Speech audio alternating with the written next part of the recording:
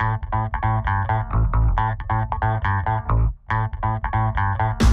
I'm Kate Zanoni. I'm a physical therapist assistant at Loudoun Sports Therapy Center, and I am here today to give our second installment of our Do Anywhere workout. So this is video number three, and this is our stretching strap workout for our upper body this time. I'm going to take you through a series of three stretches. I have my handy dandy stretching strap here. But again, you don't have to have any kind of fancy equipment. You don't have to have a specific stretching strap. You can use whatever you have around the house. You can use a belt, a dog leash. Uh, if you have a towel that's really long that you can use to stretch, um, you can use a scarf, any, anything that you have laying around the house. It doesn't have to be anything special. And to make sure that we are getting that good tissue extensibility and that our muscles aren't just gonna snap right back like a rubber band, we wanna make sure that we're holding each stretch for at least 20 seconds each. The first one, and I'm gonna stand up here, is to, I'm taking my right hand, I'm gonna stretch my left shoulder. I'm gonna use my right hand to help pull my left up and across here.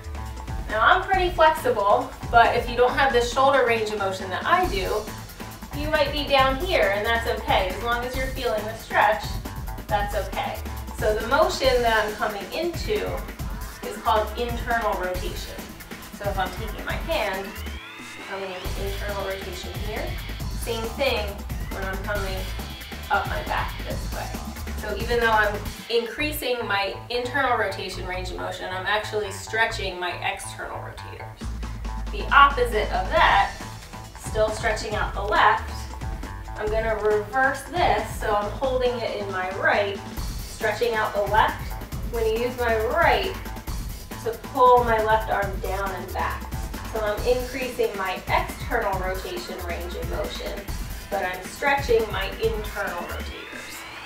External rotation coming out this way, coming back this way, and then reaching back as if I was gonna do my hair or wash my hair.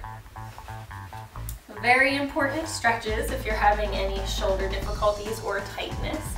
Another one that we can do with the strap is a tricep stretch. So for that one, again, I'm gonna do my left arm. And this time, I'm gonna pull straight down and back. So I'm not coming down and across this way like I was for the other one. I'm coming straight down. So I'm stretching my triceps here.